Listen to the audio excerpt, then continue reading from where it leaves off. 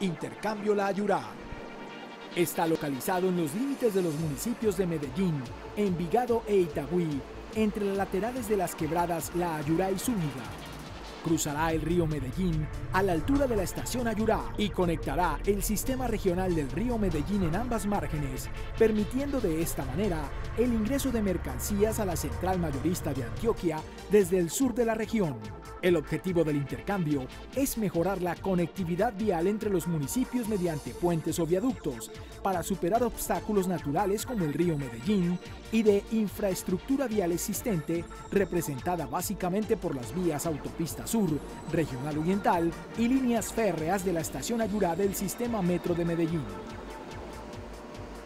Valor estimado de la obra, 115 mil millones. Municipios, Medellín, Envigado e Itagüí.